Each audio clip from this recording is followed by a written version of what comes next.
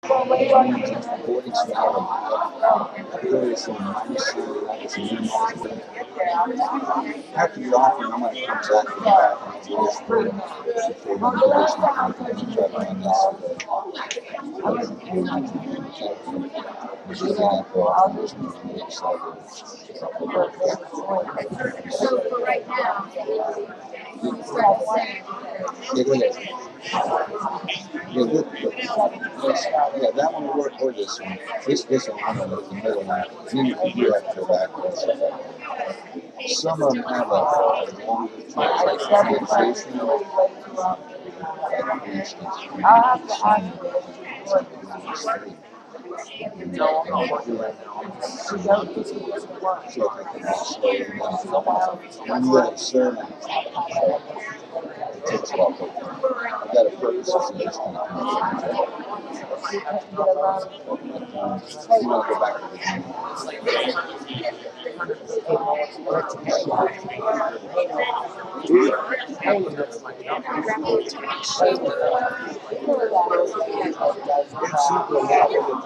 sound system said this. We usually do it just turn back.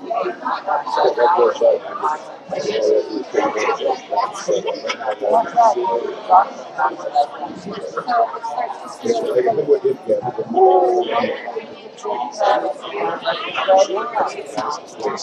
can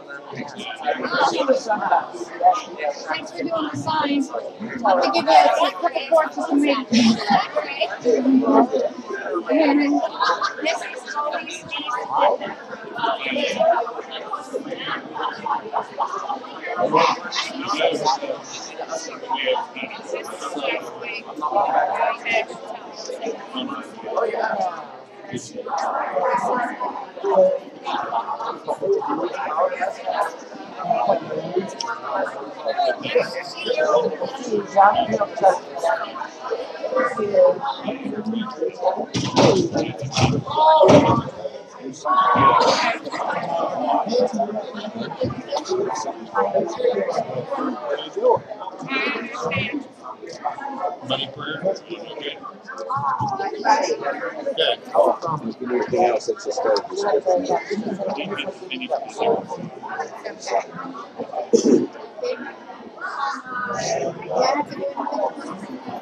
You shouldn't need to.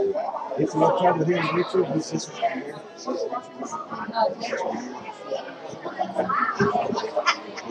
These, these people right here. Maybe the microphone you have to. You get one of the comedians who wants to be maybe just have to meet That,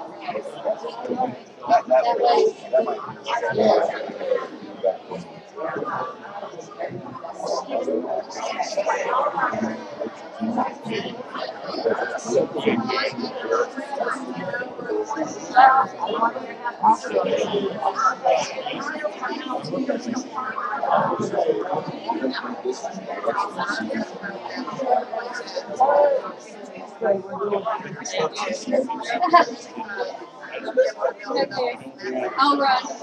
You'll hear that door slam when I run. Yeah.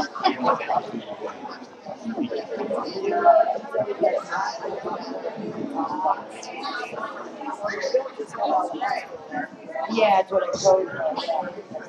But it is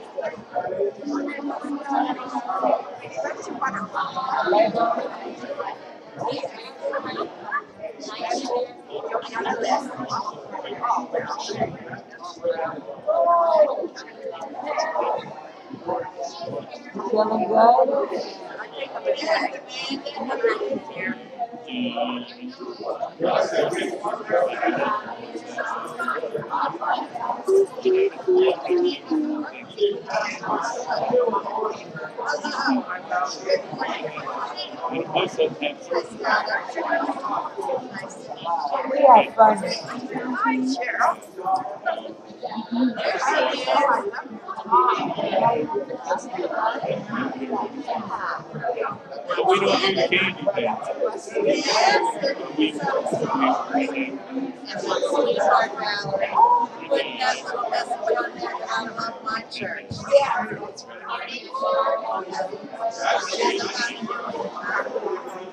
Absolutely,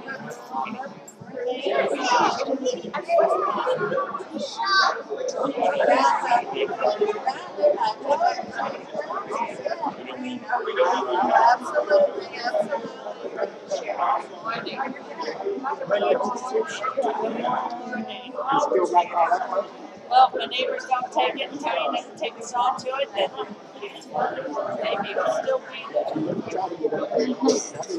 Yeah, get the sweet Yes. Love sure. Really David special, which is last But I this burger. I like it.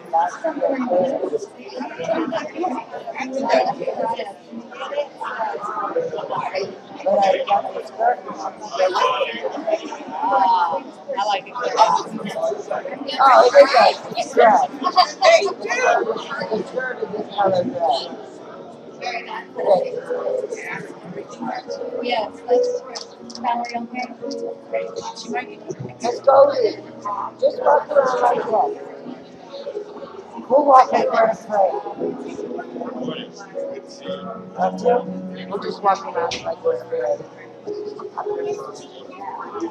Good morning. I asked him,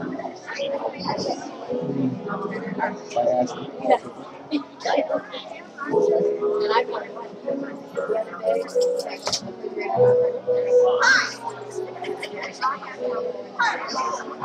other day. Good.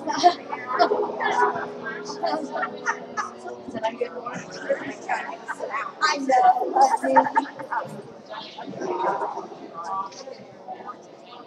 Good morning. Morning.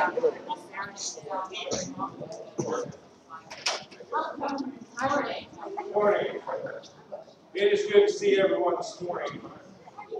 Beautiful day. And I'm sure that he has made you glad. So why don't we all stand up and sing about it? He has made me glad.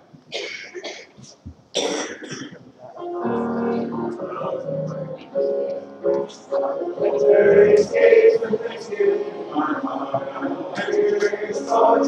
praise. I'll sing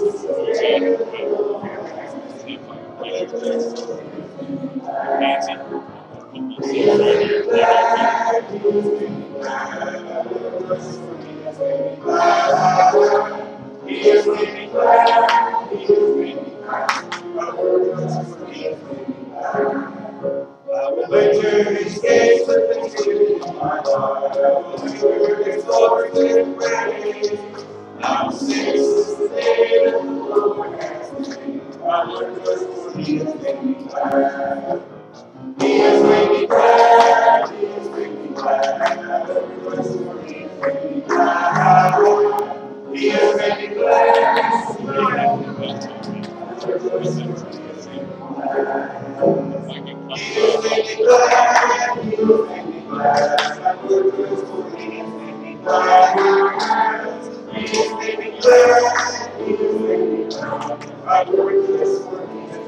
Yes, I will. Okay, let's take a moment, meet and greet while you're on your feet. Oh,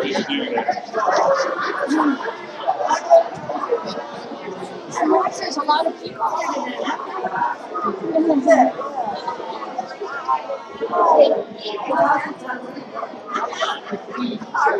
Hey, baby, I'm in the back room. The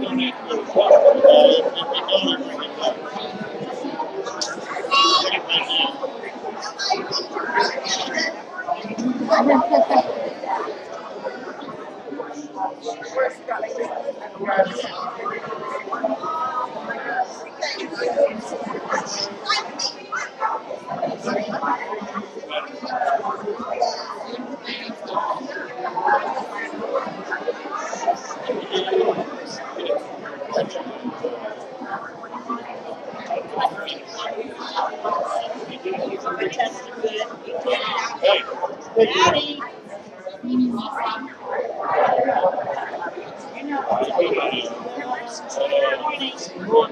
Hi. Nice to see you. To see you last night. Oh my goodness.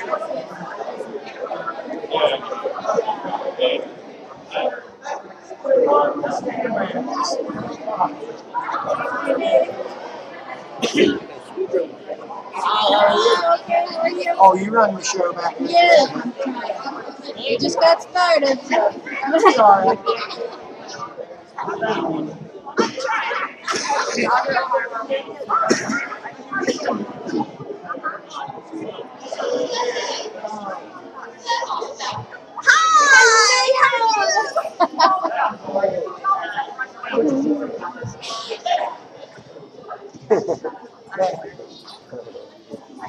No, it doesn't look like as many people in here.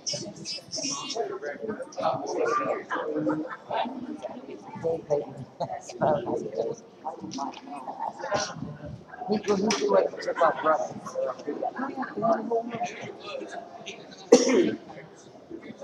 Okay. Fortunately my battery just died. No, think properly here. Can you hear me? Yeah. Okay. Yeah. Grandma seems really good. last Sunday morning, we came here, Jim Bradley for the first, and also his wife Grace, uh, joined membership here at Hopedale Church of Christ. Jim, if you don't mind coming, I'd like to present you with a baptismal certificate. Also, we have some Bibles for you with Grace. We're so honored to have you. Invite Grace if you want, but-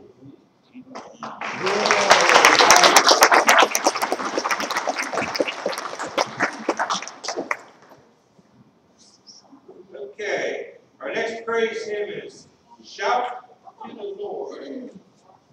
So let's, uh, let's all let the Lord know we're here today. Shout to the Lord.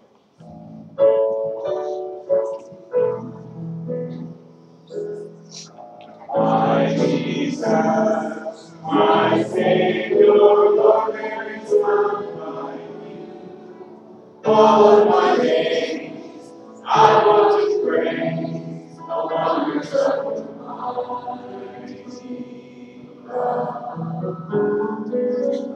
my comfort, my shelter,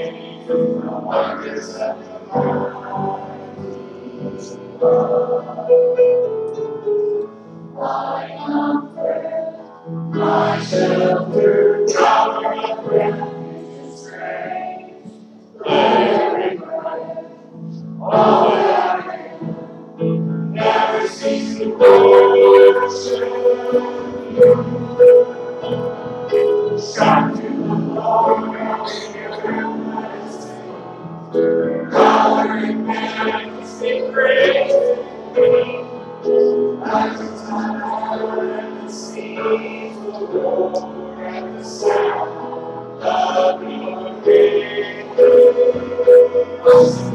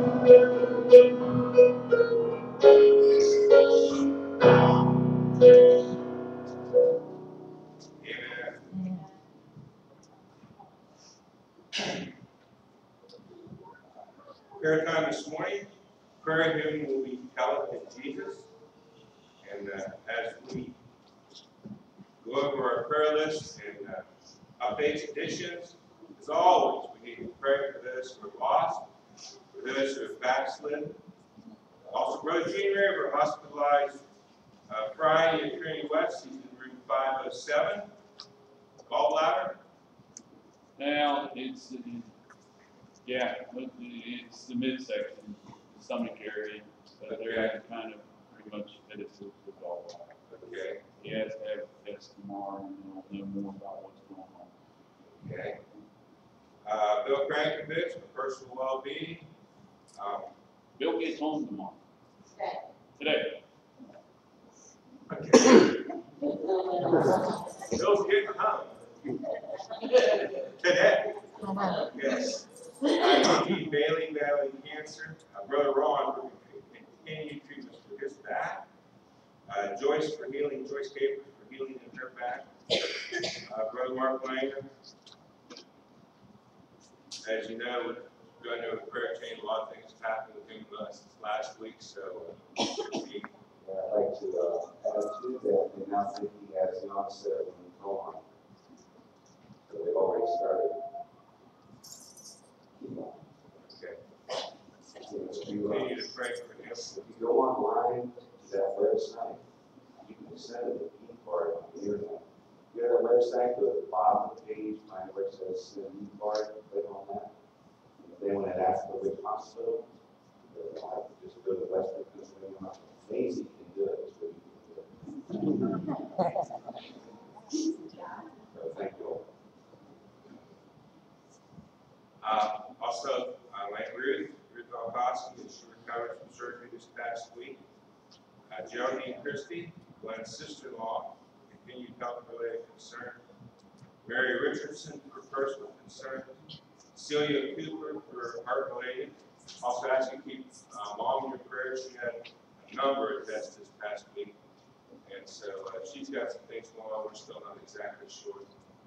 Um, Brother Gene, the midsection there, so I think it might be gallbladder over too. Just ask you all those folks your prayers and also, um, Howard Young family and Howard passing, and also, uh, Ron Huckman family and his passing.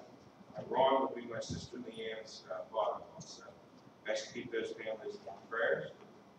Uh, once again, prayer hymn is Helen to Jesus, following our prayer hymn, Brother Matt.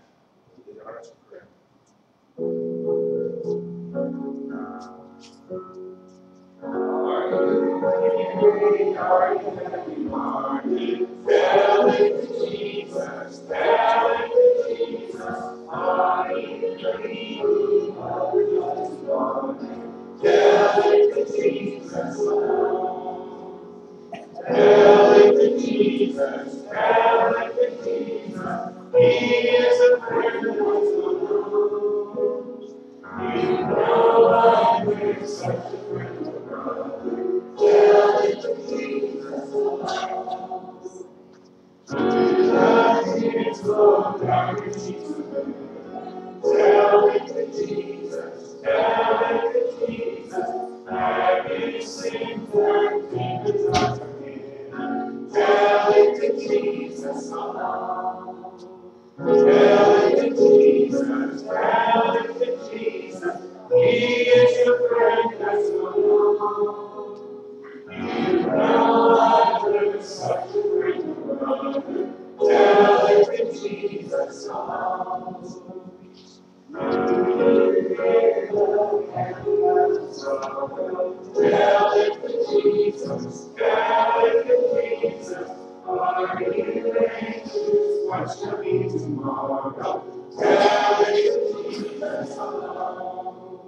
Lead our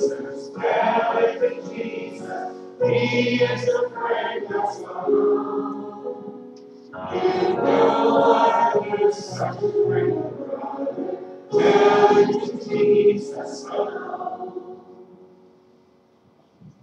Father in heaven, as we gather here this morning to worship you, Father, so thankful for this day, Father, and we're thankful for your Son. who died on the cross our sins may be forgiven. Father, this morning we have a list of names we'd like to raise up to you. Father, we ask that you be with each and every one of these individuals, whether they need spiritual healing or physical healing. Father, we ask that you also be with their family members. In Jesus' name we pray. Amen. Communion hymn this morning with cross. And, As we prepare for that.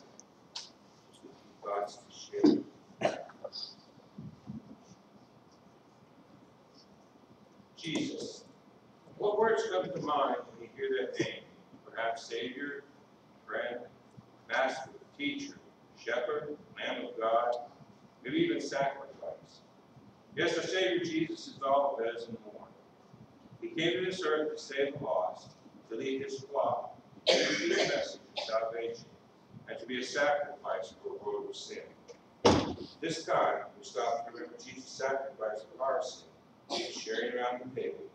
Here we share in the cup, which is his blood, and the bread, his body. To honor Jesus for all he is to each of us, and to heed his command as we strive for heaven, to spend eternity with our teacher, our Savior, Jesus. Communion hymn is the old rugged cross.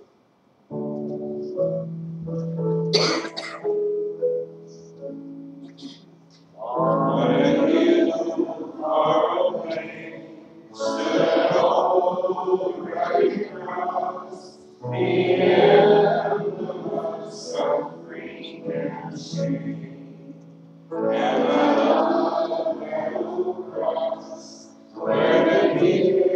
Yes.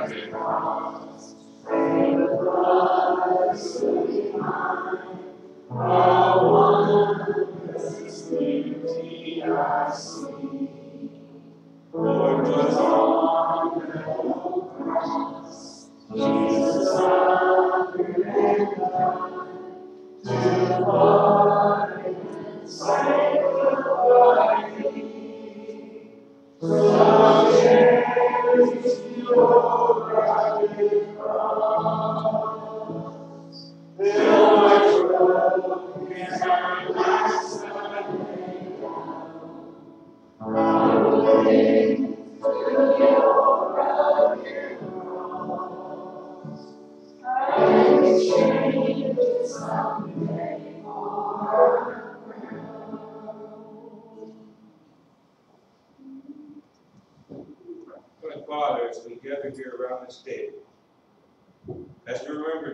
our friend, our staying friend, our teacher, our sacrifice. Father, we just ask that as we take this bread, we remember his body that was so broken there on Calvary for each and every one of us.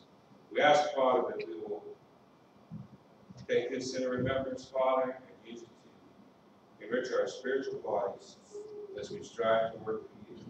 For this we ask in Jesus' name. Our God and Father in heaven, thank thankful again for this time of remembrance. Sometimes, Father, we fail to remember that we have a Savior that we can go to. We Father, your Son. You sent, our sins. Help us, Father, to remember that He is our Savior, that we must live our lives in accordance with your will. We thank you, Father, again for this time. Your peace with the table, that we come closer to you. Thank you for sending, your Son to redeem us. These things we ask, and pray in His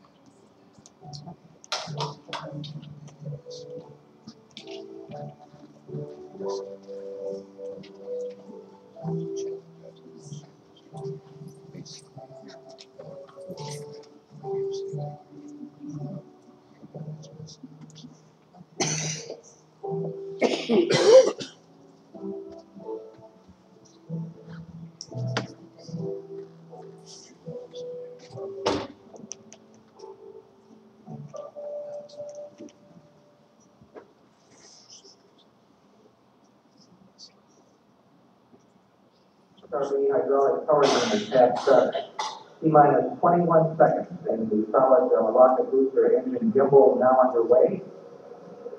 T minus 15 seconds. T minus 10, 9, 8, 7, 6. We have main engine start. 4, 3, 2, 1, and liftoff. Liftoff from the 25th Space Shuttle mission and it is cleared the tower.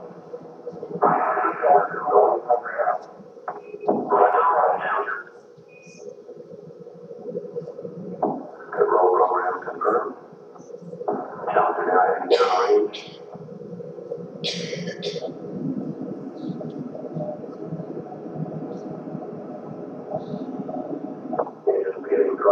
now ninety-four percent.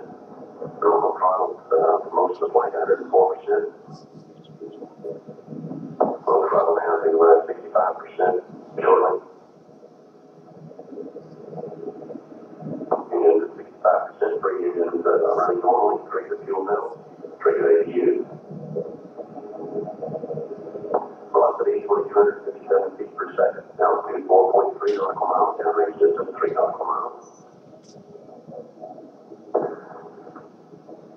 APU. the twenty-fifth space shuttle mission is now on the way after more delays than NASA cares to count.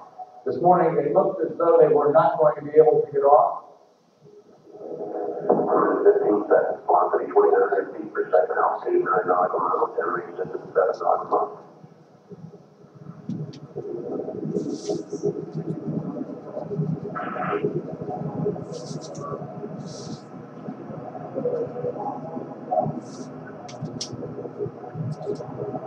Looks like a couple of the, uh, solid rocket boosters, uh, flew away from the side of the shuttle in an explosion.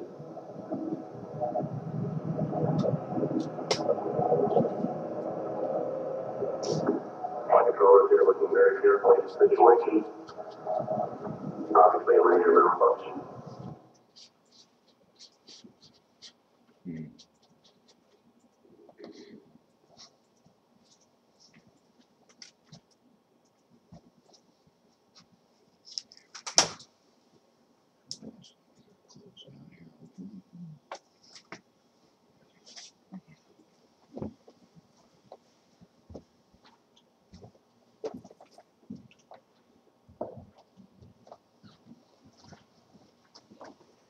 January twenty, nineteen eighty-six, probably remember where you were. if you told me, Twenty-six years ago, we thought the final words on the space shuttle Challenger was throttle up. But those were not the final words of the commander. Just a split second before the explosion of the space shuttle Challenger, final words of the commander was, uh-oh. And from what I read in Matthew chapter seven, when the judgment comes, those will be the words of many individuals who thought they were saved. When they stand before the Lord and he says, I don't know who you are. They'll say,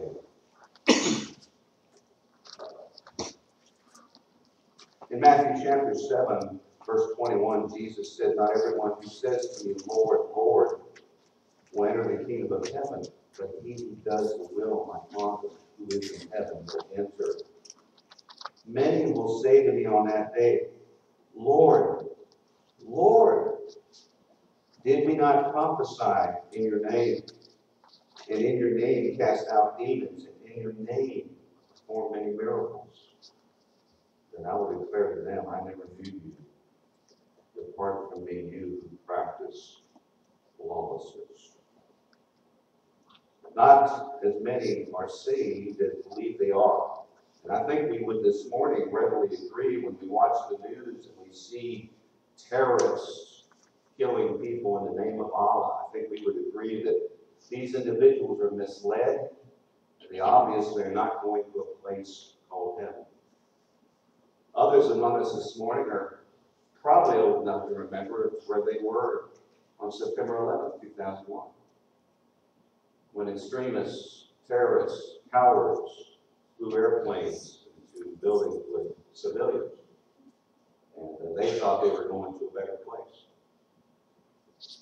Their words as they stood before Almighty God had to been in their language. Uh-oh. Uh-oh.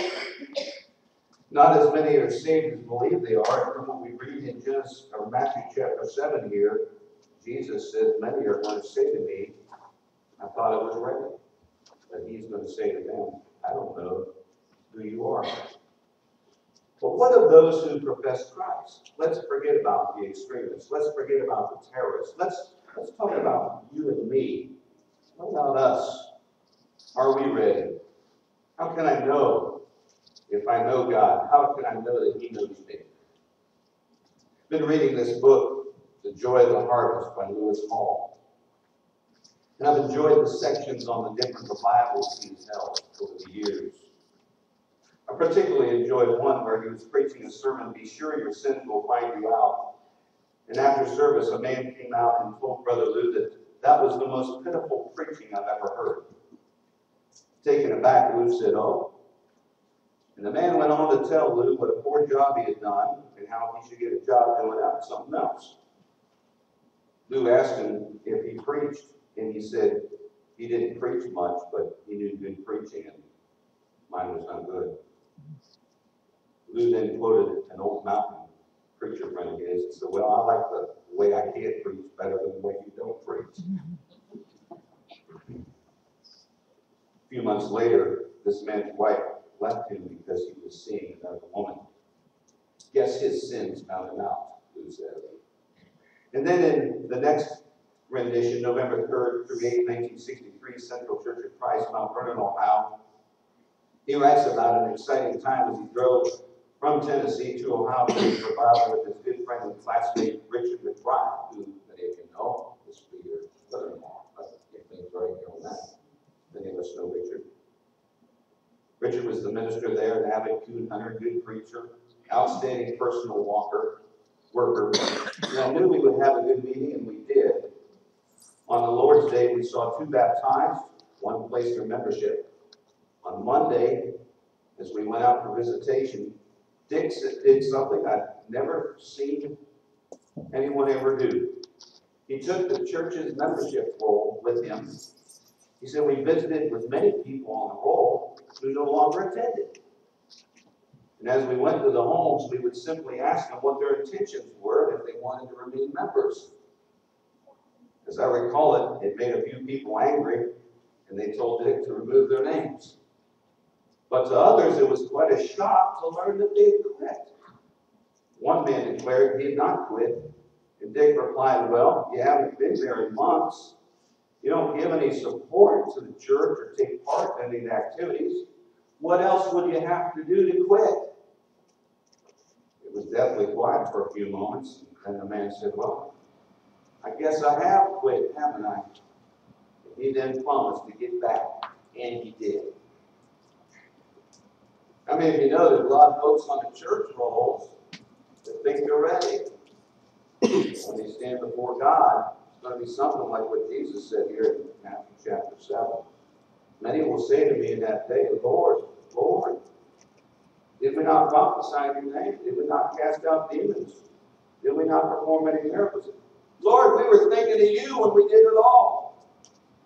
Jesus said, I never knew you. Depart from me. How many of you know that would be a fatal day, right? That would be a terrible fatality. Worse than the fatality of the Space Shuttle Challenger. Worse than the terror of September 11, 2001. Worse than a tragic death or premature death is the tragedy of someone standing before God thinking all is well, only to hear him say, I don't know you. Depart from me. And so I'd like to, with your permission today, look at a few scenarios in Scripture that I hope will help each one of us to avoid that type of fatality in our own lives and for the lives of those we love. I read on a church sign not too long ago, and then we used it on our church sign a couple weeks ago, this saying. How many of you remember the saying that said it is fatal to enter into any battle without the will to win it? What I'd like to do this morning with these four, whatever you want to call them, visuals on the, on the slide here, I would like to take that expression and substitute some words in that expression. The expression will be basically the same. The original expression was, it is fatal to any, enter any battle without the will to win it.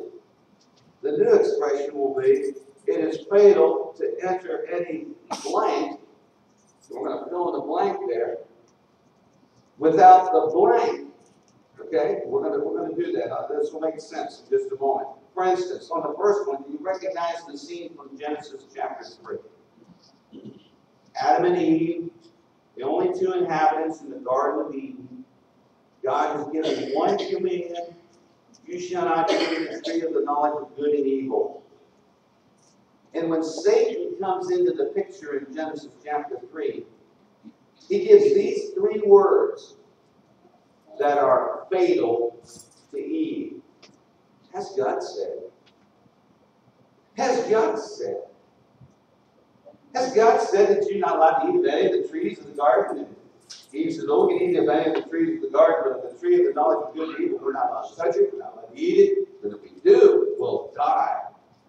Satan said, You won't die. God knows that in the day that you eat of it, you become wise as God.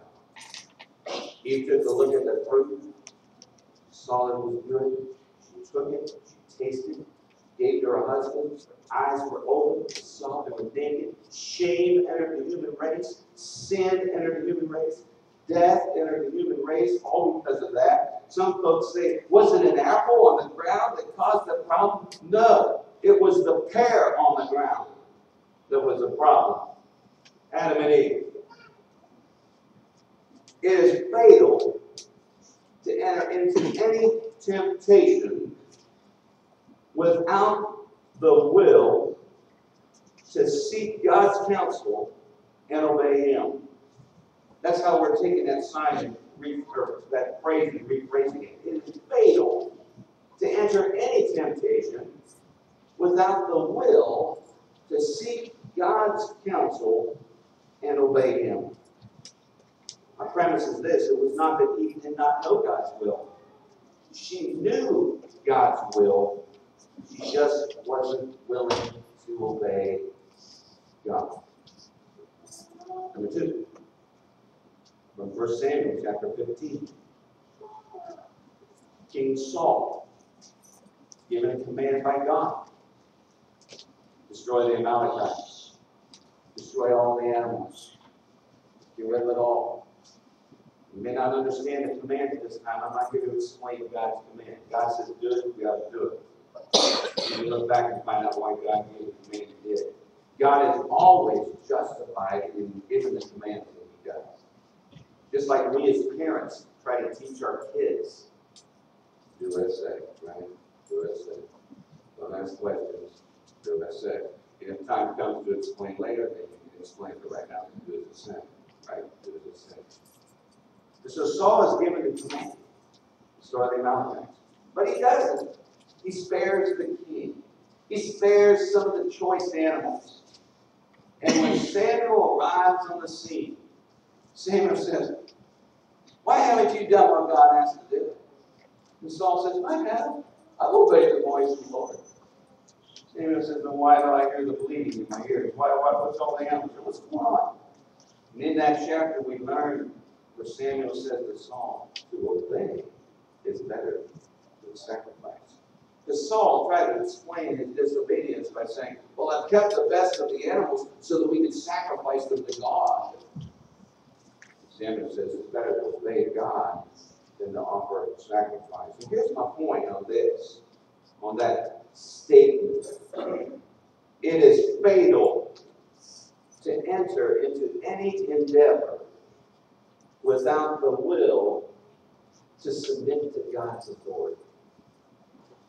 Whatever we do, whatever the action, whatever the job, it's fatal to enter into any endeavor without the will to submit to the authority of God.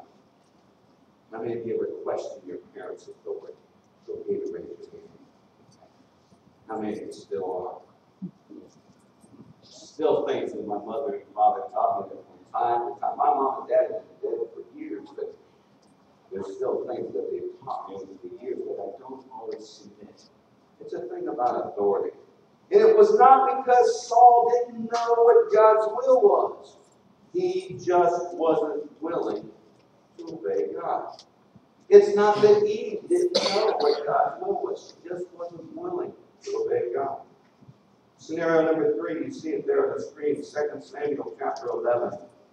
This is where Nathan is telling a story to David about how someone had sinned grievously against one of his fellow Israelites. And when David heard what this dude had done, David was so enraged, he said, That man ought to die. And Nathan points his finger at King David and says, You are the man. You're the man. And in that situation in Second Samuel chapter eleven, the Bible says it was springtime, when the kings were to go out to battle, and David stayed at home. King David, the one who slew the giant, remember that kid when he killed Goliath, as a young boy? His heart was set on God. He wanted to serve God. Everything he did, he wanted to honor God all he did. How many remember those, remember those days in your early life as a Christian? I want to serve God. You know, I want to be as best I can be for Him. And he becomes king of Israel. But then, as the kings were going off the horse, David stayed home alone. No, I'm not talking about the movie Home Alone, but that's right on. Home Alone. The evening he went out, he saw a woman bathing. His heart was filled with lust. He began to conceive in his mind a plan to get with that woman, and eventually he did. He had relations with her. Her name was Bathsheba. She conceived. And this is where David said, uh-oh. He knew he was in trouble. Made a fatal mistake. Now he has one of two choices. He can either confess his sin and get right with God, or he can try another route. The route is but he didn't choose that. He calls her husband home from battle, Uriah. Hey, how you doing? Has dinner with him and gets him drunk. And he says, let's go on down and have some fun with the missus. As he looks out later that night, he notices Uriah has set up a cot outside the house and has not gone into the house at all.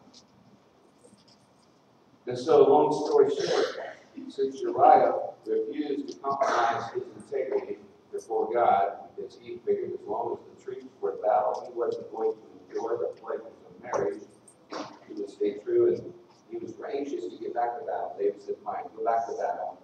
And he arranged, I believe it was with Joab, he arranged with the commander to put Uriah in the front line at the heat of battle, and then to have all the troops withdraw from him. When you, when you read that, you're thinking, this is unbelievable. This is the, this is the one who fought Goliath, and the Lord, this is the one who put his trust in God. This, this is the one who was a man after God's own heart.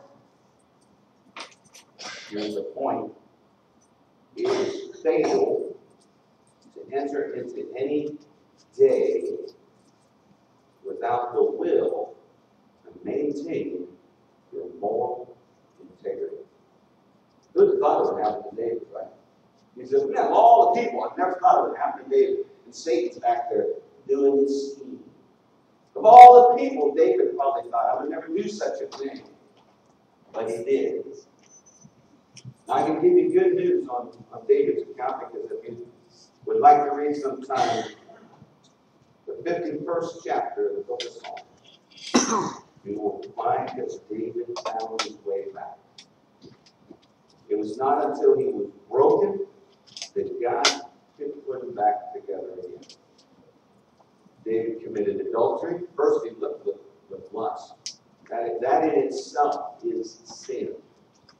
Then he committed the actual act of adultery. And for all we know, continued in that action. And then when she was pregnant, he tried to cover it over with deceit and lies. And then ultimately murdered her husband. But he found his way back. My point is this it's fatal to enter any day that we live without the will that we maintain our moral integrity, as 1 Corinthians chapter 7, verse 35 would put it, to maintain an undistracted devotion to the Lord. You know what undistracted devotion is? I don't mean to make light of this, but if any of you have a pet that always shows up at the table when you're eating, like we do, her name is Bandit. We love her. She's great. She's beautiful. She's, she's, my second daughter. we love her. I'm telling you, when I have breakfast, she's there. I give her a little piece off the edge of my Pop Tart about four or five times. a week. Those two Pop Tarts, she gets about a, tenth of a piece. I'm telling you, if I don't give it to her, she's right there. And her eyes are focused, and her head doesn't move, and she's either looking at the Pop Tart or she's looking at me like that. And she's looking at the Pop Tart. And then when I take that Pop Tart, and sometimes the teacher, God forgive me for that, I'll raise it, and her eyes will slowly follow thing all the way. She, when it comes to food, has an undistracted focus, undistracted devotion. And unless we have the intense, undistracted focus that we will maintain on moral integrity for this day. Don't worry about tomorrow, right? Forget about yesterday. Just worry about today. Worry about today. It's not because David didn't know God's will, he just wasn't willing to obey God. Then do you remember in John chapter 8, woman taken in adultery? It is fatal to enter into any promise with God or without man, without the will to sever our ties from sinful passion, sinful behavior, sinful attitude. It is fatal to enter into any promise or covenant. If you're married, you've entered into a covenant. If you're a Christian, you've entered into a covenant with God. It is fatal to enter into that partnership, that promise, that covenant without the will to cut off all ties from any sinful behavior, any sinful passion, any sinful attitude. And when you do break off from the sin, it is also fatal if you do not accept the fact that you are forgiven. Amen? My, how we struggle with this. Speaking with a dear saint on the phone this past week, spoke of her husband who's battling cancer. Said, when things and if things get bad, if it looks like we're going to lose him, if you'd like to see us or like for me to come down, I'd love to see him again. She says he's already requested that, that he would like to see you. And I said, well, she said, he's not afraid to die. She said, he basically told the family, going through all this chemo and all this, I just really, you guys, some of you might be doing good with chemo, but if you're on he's not. He, he's sicker than all. He's, terrible. He says it's torture. He says, I don't know why you're making me go through this torture. Obviously, we don't want to lose him. We'd like to have him with us a bit longer. But he told his wife, he said, I'm not afraid to die. I'm not afraid to die. So here is a man that has severed his ties with sinful behavior. He still, even as sick as he is, reads God's word every day for an hour or more. He rises in the morning, that's the first thing he does. Folks, you can enter into covenant with God. You can forsake all those sinful things in your life. But if you don't accept the fact that you are forgiven, it's just as fatal as never giving up the sin in the first place. Because it's a smoke of our hope in heaven. And we're going to be together in heaven again one day. She says, I hope so. Now, unless she has sin in her life of which I don't know, what I think her struggle is this. Her struggle is believing that God would actually forgive her, whatever it is she's done in her life.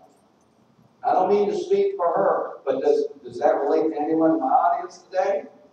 In John chapter 8, here's the woman taken in adultery, and they drug her before Christ. He says, Moses' law said we should stone such a one. What do you say?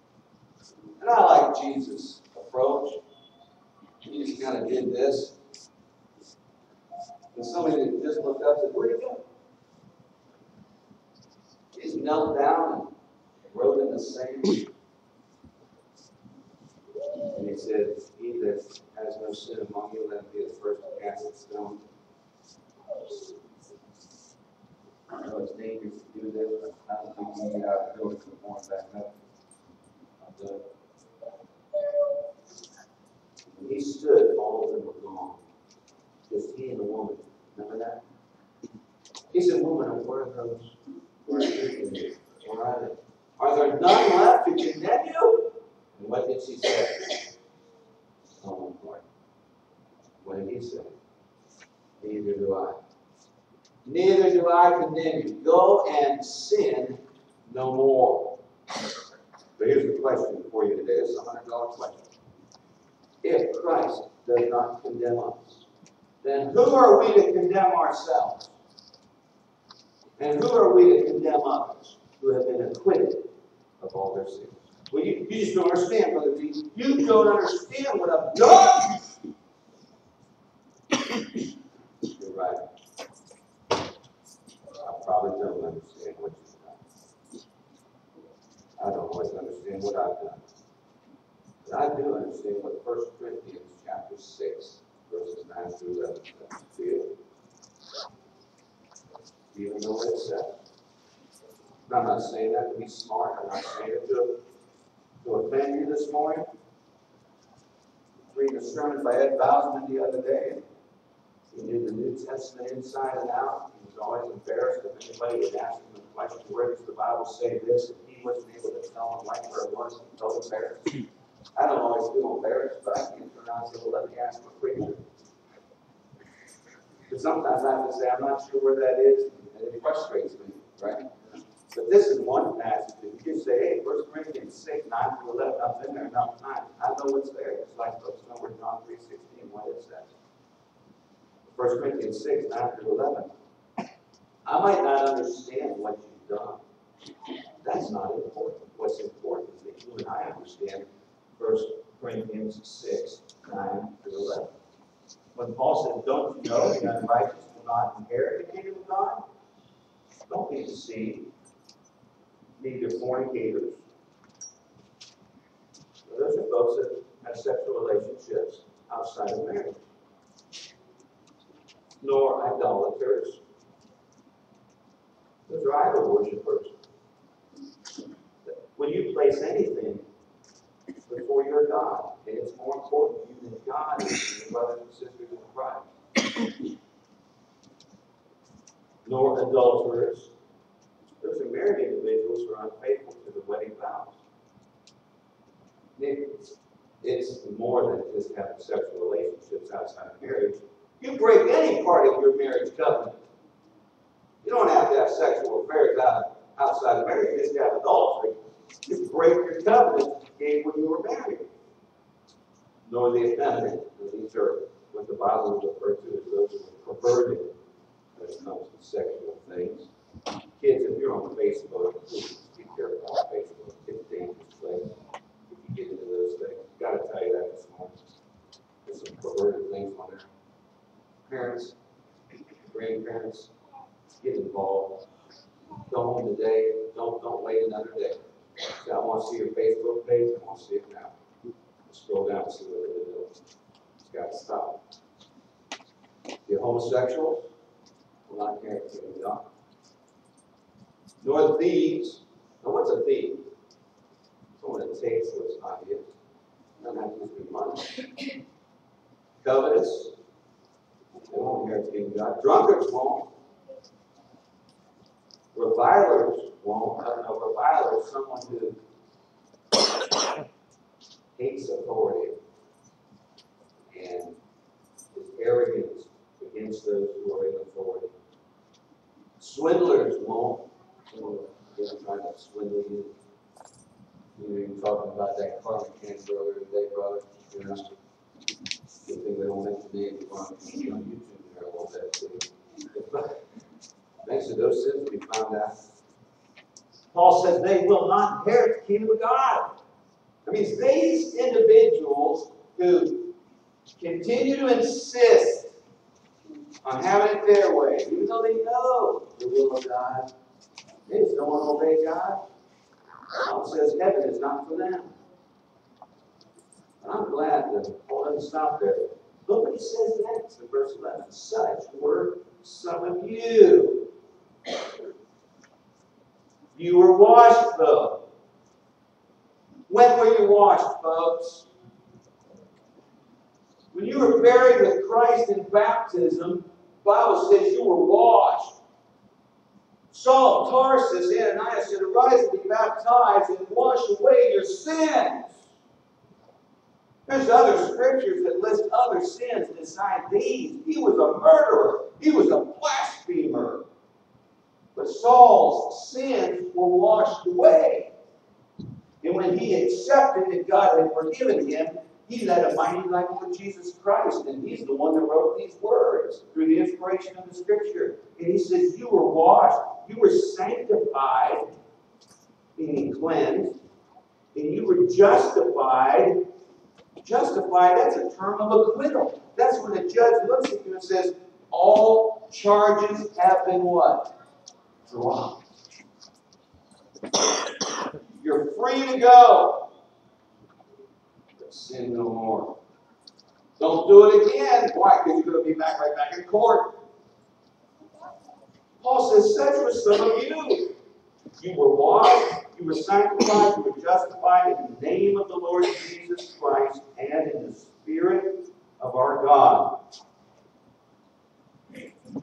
Jesus Christ is the ultimate Savior, and it's fatal to enter into any day, any endeavor, any action, any whatever without the will to totally abandon ourselves to Him. And then when we do and we obey God, even in baptism and beyond, then to also acknowledge and accept, I am forgiven. I have been forgiven. In 1 John chapter 1 and verse 5, we are told some amazing things about the forgiveness that you and I receive. Say, brother, but, but brother D, you don't understand what I've done. How long do I have to say it? Because this is going to come back. This is going to come back again someday. You're going to say, You don't understand what I've done. God could never forgive me. 1 John 1 5, this is the message we've heard from him and announced to you God is light. In him there's no darkness at all. If we say we have fellowship with him, yet walk in darkness, we lie. We don't practice the truth. But if we walk in the light as he himself is in the light, we have fellowship with one another. And the blood of Jesus, his son, what? Anybody reading with me? Cleanses. Underline that word. Us from how much of the sin? All. Now, to say we have no sin, we're deceiving ourselves and the truth is not in us. Remember, he's writing to Christians. He's writing to those who have already been baptized in this book. So they don't get all hung up because he doesn't mention baptism. The preacher didn't mention baptism. I'm speaking to the Christians now because if you're not a Christian this morning, we hope you decide before you leave today, especially before you leave this life, to be a Christian and serve God with all your might. That's your decision. We certainly hope it for you.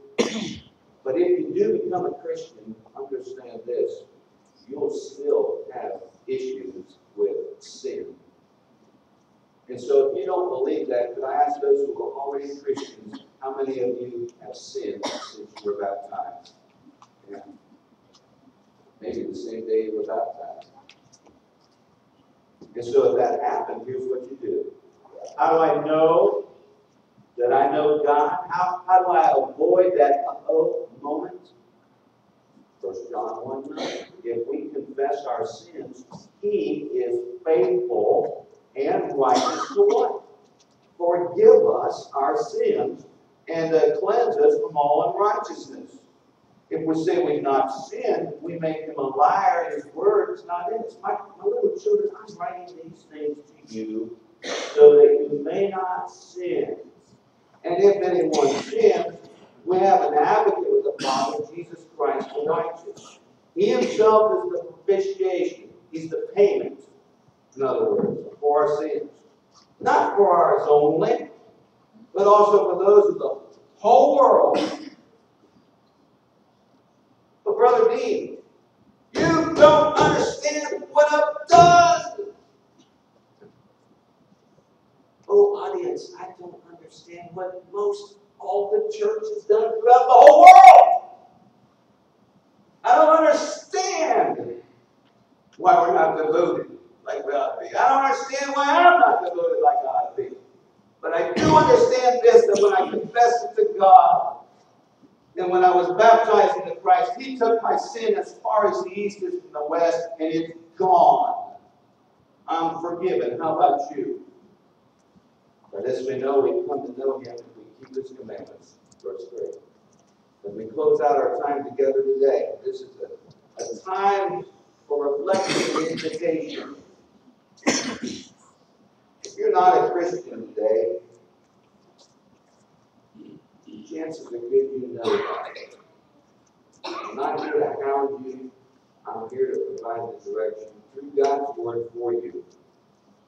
If you want to know God, if it's your desire, let me ask you, is it your desire to know Him? Do you want to go to heaven? You know, is that your desire? Do you want to belong to Him? Do you want your name to be written in the Lamb's Book of Life? Verse, if, if you haven't heard, I'm convinced you have heard, but hear anything. Hear this, verse 3 of chapter 2. Here's how you can know. We know that we come to know Him if we keep His commandments. The one who says, I've come to know Him and does not keep His commandments is a liar. The truth is not in him. But whoever keeps His word, in Him the love of God is truly been perfected. By this we know that we're in Him. And the one who says he abides in Him on himself to walk in the same manner as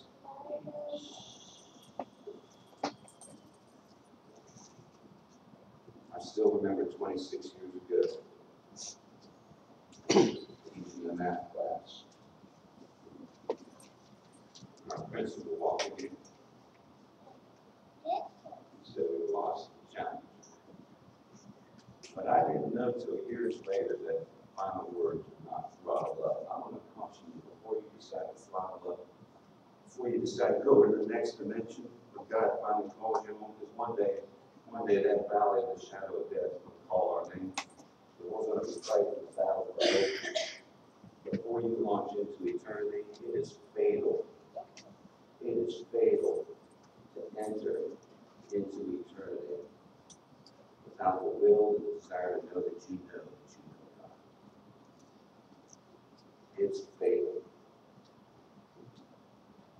I want anyone here in the audience today to be uttering of those before Almighty God.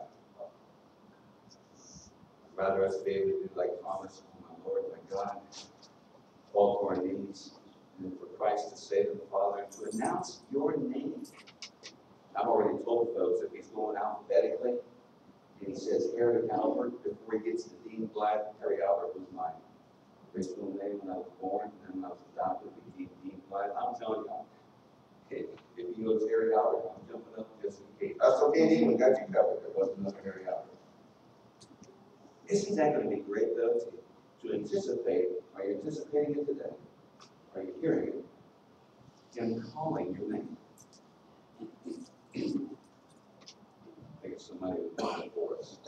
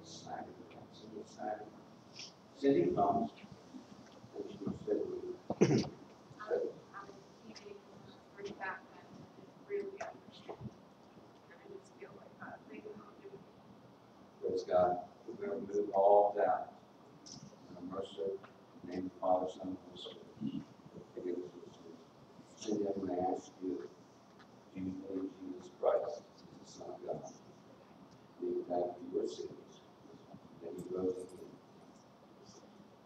Let's share the good If you'd like to join us, we do. I believe. I believe.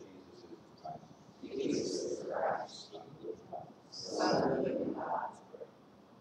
Father, thank you for sending us to Savior. Come and pray for others who will today. They rejoice in sin. Bless her, Father.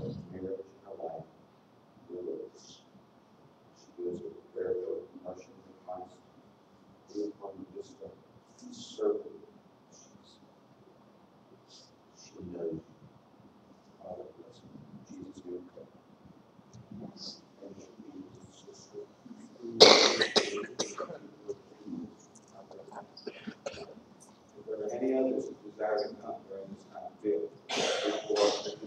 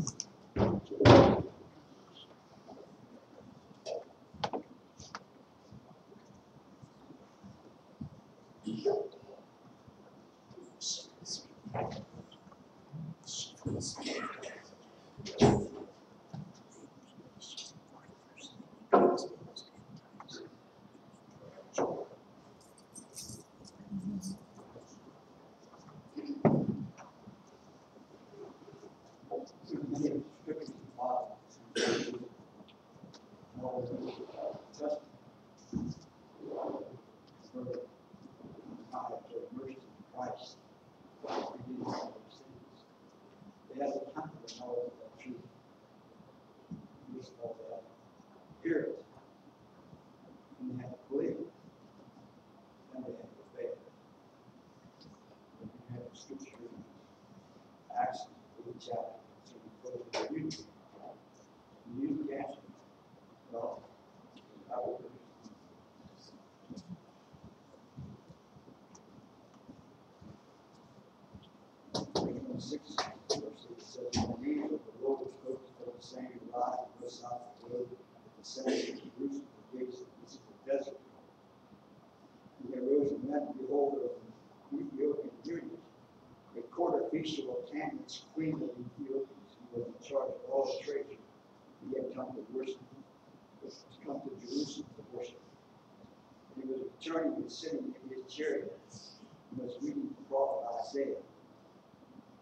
the Spirit said to Philip, Go up and join this, this chair. When Philip had gone up, he heard him reading Isaiah the prophet and said, Do you understand what you're reading? He said, Well, I'll put on unless someone guides me. He invited Philip to come up and sit with him. I passage the scripture which he was reading this it was that as the sheep to slaughter, there's a lamb before its shearer and Sodom, so he does not open his mouth. In the humiliation his judgment was taken away. Who shall relate his generation? For his life was removed from the earth.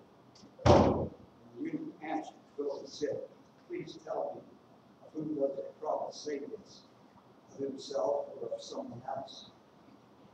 Philip opened his mouth again of this scripture and preached Jesus to him. As he went along the road, they came to some water. And he said, Look, water. What could this be from being baptized? Philip said, If you believe with all your heart, you may answer and said, Hallelujah, Jesus, Son of God. And he ordered the chariot to stop and the boat went down to the water. Philip, as well as me, and he baptized him. And we came up out of the water. The Spirit of the Lord snatched Philip away. And the eunuch saw him no more, but went on him rejoicing. Philip found himself at Ashburn as he had been there, preaching the gospel to all the sinners until he came to. We have to hear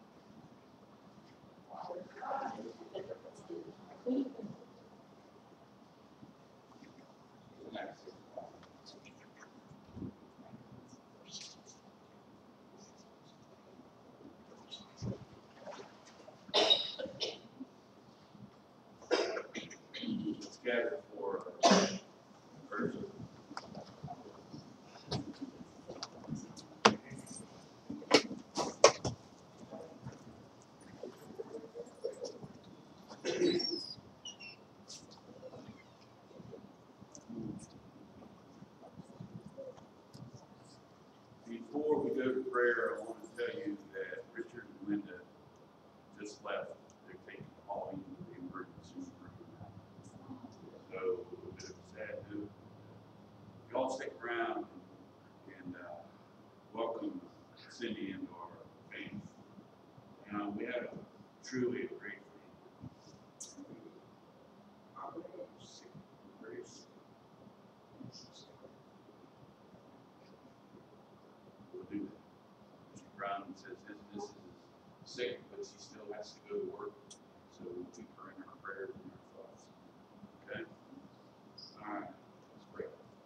Heavenly Father, I know things are pretty tough right now, but uh, we're getting through her with your help. I know the angels are jumping and rejoicing that Cindy's done, Place their life in your hands. It's my prayer that we will learn to do that more often. We need to turn to you. You know, there's all kinds of stuff we think we have to have, like money and all that. We put our faith in that. We got to learn that you are the true and almighty King, and that we need to put our faith in you. Let us go our separate ways, glorifying you. In Jesus' name we pray. Amen.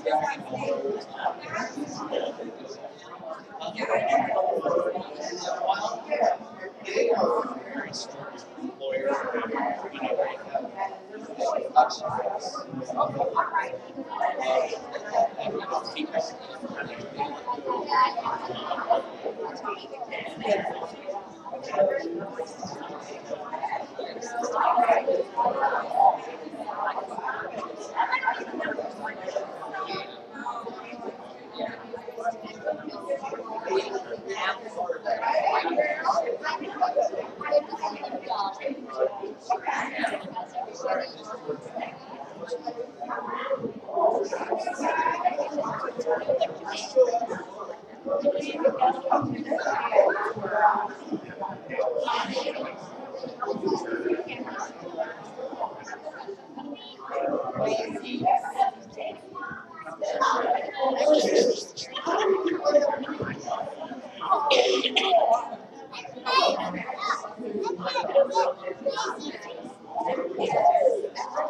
to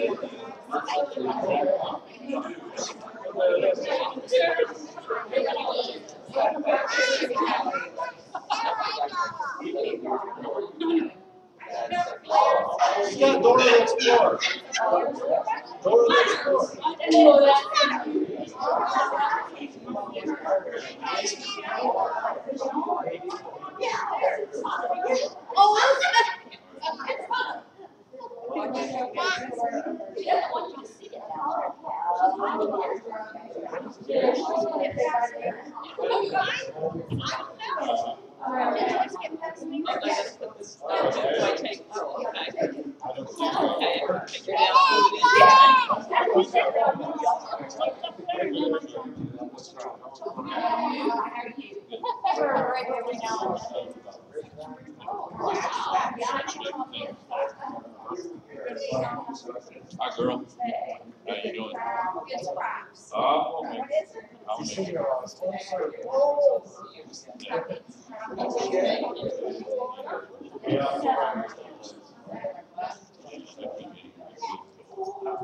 it?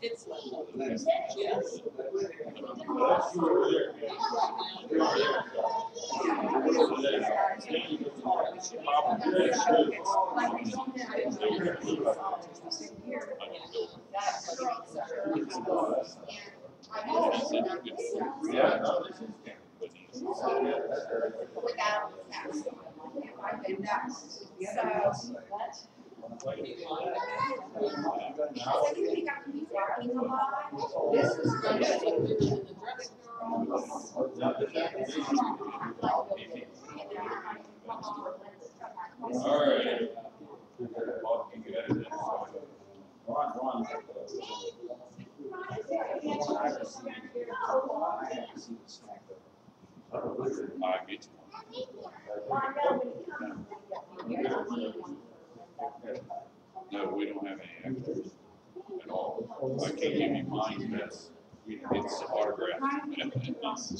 Uh, I was sure glad to do that. Hey, uh, Goldie, Denise is the dis- distribution center. So she might have, you know what, know where one is. You know what she's going for. It'll be a big- Yes, uh, now I've got to go back into the beginning of the I didn't know she was. Maybe some of them did. I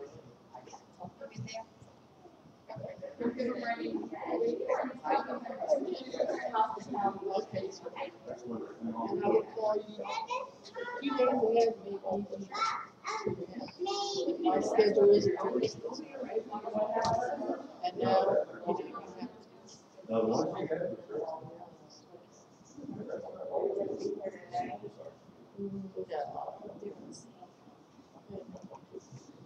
place. It is my favorite place in the world. No, I won't be here, but mom's gonna print out the calendar and I'll be able to.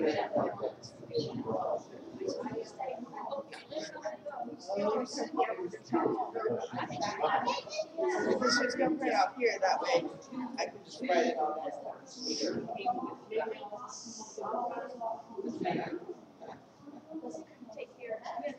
One was a friend.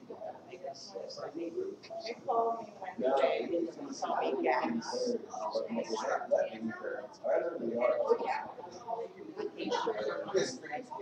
Whenever, and even if I'm at work and I don't answer, leave a message say, say, you better.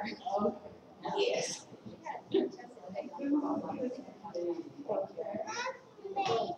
Yeah.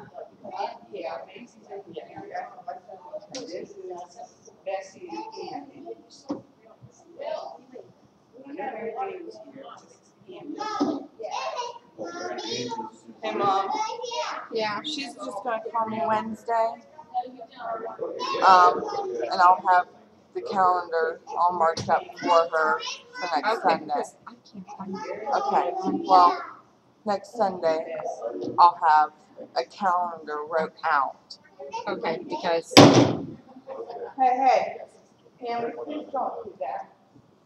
yeah, because there's none on this one, honey. All right, It, she's it's gonna call me Wednesday. Huh?